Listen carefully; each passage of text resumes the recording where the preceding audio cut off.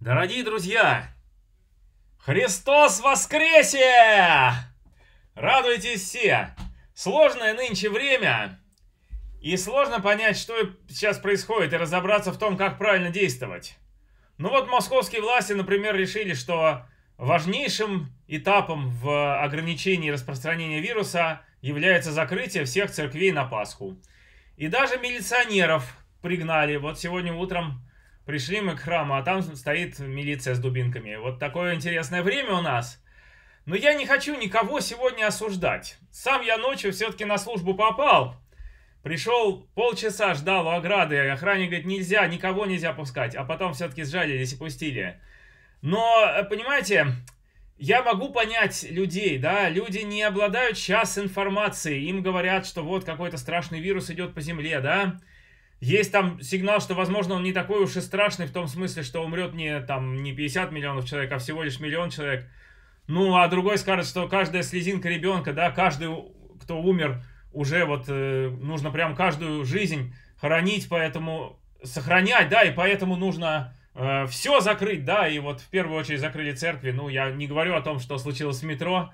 Э, на фоне этого я не хочу сегодня никого осуждать. Я просто ощущаю, да, что у нас какой-то есть вот внутри православных сейчас спор, как правильно действовать. И многие мне говорят, ты не прав, мы тебя осуждаем, ты пошел на службу, ты всех заразишь потом, возможно, да? А другие говорят, что Иисус позвал, и надо идти. И вопрос действительно сложный, нужен какой-то духовно сильный человек, старец. Ну где его найти? Мы в заперти сейчас сидим, да? У нас пропуски на выход, мы не найдем сейчас старца, чтобы поговорить. Вот, поэтому Давайте каждый считает так, как он считает, а будущее нас рассудит. Кто решил праздновать дома, празднуйте дома. Кто все-таки решил, что в такой э, час трудный надо поддержать церковь и сходить вместе с другими людьми побыть на службе. Уважайте тоже и это решение, да, наши оппоненты. Давайте друг друга уважать, давайте не, не, не обвинять сегодня друг друга огульно и, так сказать, так вот категорично. Будущее все рассудит.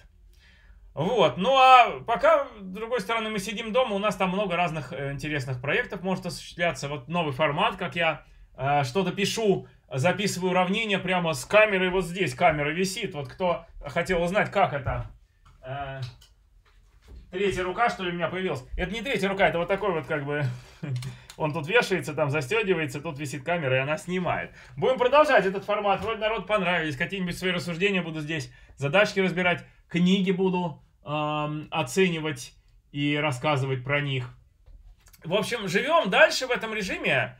Э, ну, а когда-нибудь, бог даст, все это закончится, и снова начнем и ездить, и лекции читать, и общаться.